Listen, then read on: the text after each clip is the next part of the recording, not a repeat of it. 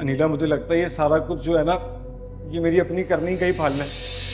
किसी की आ लग गई मुझे। दुर्योधन से मिली तू? दुर्योधन से मिलना।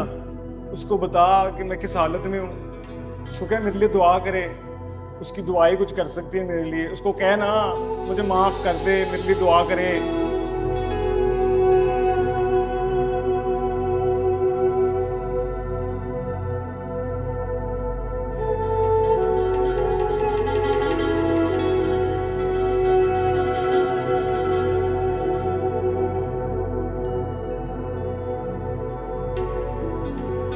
शीमा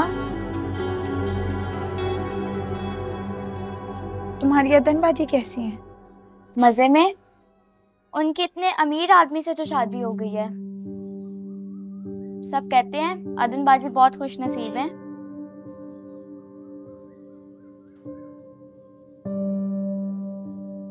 तुम्हारी बात हुई उससे? कब आएगी? पता नहीं उनको ही पता होगा।